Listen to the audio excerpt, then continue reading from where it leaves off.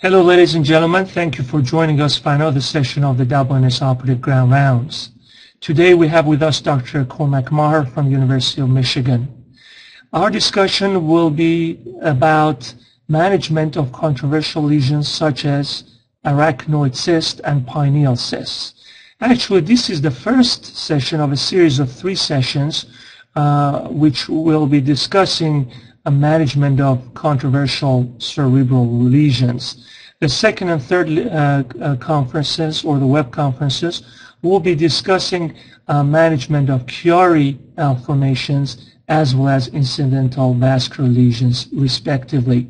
Cormac, thank you again for joining us and we're looking forward to hearing your valuable information. Thanks, Aaron. I appreciate the invitation to present today on a topic that I think is uh, of interest, hopefully, to many neurosurgeons. Uh, I have no financial disclosures. I do have many people uh, to acknowledge that I've worked with over the past several years on these topics, so you can see here, and some of whom will be named uh, uh, later in the presentation. Uh, I believe that intracranial cysts are an important topic because they present to neurosurgical outpatient practice with a great frequency. Um, and frequently they are associated with symptoms that are also very, very common in normal children or in children with abnormalities that aren't necessarily related to the cysts. I have here a list of common neurological symptoms that can occur in children with or without any associated pathology that can be seen on the MRI scan. Headaches, as we'll get into in this presentation, are a relatively common symptom in children, not necessarily, although they might be associated with pathological entities, are not necessarily associated with pathological entities of interest to neurosurgeons.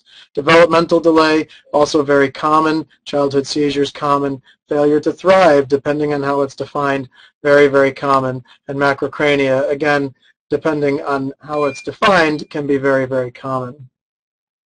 I mentioned that headaches are, are a frequent occurrence in children, uh, and in fact, a recent survey appearing in the British uh, Journal of General Practice defined, at least in the British population, that 20% of adolescents had complained of a headache one or more times each week, and that 6% of adolescents had a headache several times a week or even every day. So headaches, at least in adolescents, are not particularly rare. Seizures, as, as this audience knows very well, is also very common, at least single seizures. Turning that issue on its head, looking at MRI findings now, there are also very, very common findings on MRI that are not necessarily of, of uh, at least treatment interest to neurosurgeons. Vascular entities such as deep venous anomalies, uh, postnatal hematomas, very common if we image uh, newborn babies, Chiari malformations, lipomas, cysts, and so on, all may be found as incidental findings in the pediatric population. And this raises what I regard as an important issue, which is that there are common incidental findings in pediatric neuroimaging, and there are common symptoms in children, which may or may not be related to these common findings on MR imaging. And I think it's up to the neurosurgeon to be very, very cautious when ascribing anything more than a coincidental association to these entities. This slide I've taken from the New England Journal of Medicine, an excellent article written in 1986 by Mold and others, where they describe something that they called the cascade effect. And I think this is an important uh, point to understand for any pediatric practice, especially a pediatric neurosurgical practice. In many cases, a primary care physician will order a test to be cautious. Because there is a symptom and they don't want to miss anything potentially serious, a test is ordered. And that test is abnormal. For instance, it might show an arachnoid cyst, it might show a Chiari malformation, or any number of other relatively common findings on neuroimaging. This leads to parental or patient anxiety. A specialist is consulted, sometimes leading to more tests. And then down this cascade a little bit, the, parents are anxious. In some cases, the treating physicians are anxious. And occasionally, a surgical treatment can be perceived as a safe alternative to doing nothing, and a surgical procedure is carried out sometimes without completely understanding whether or not that needed to be done.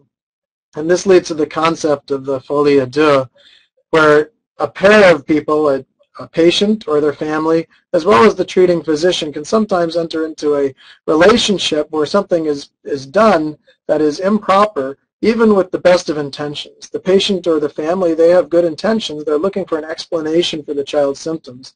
They want the symptoms to be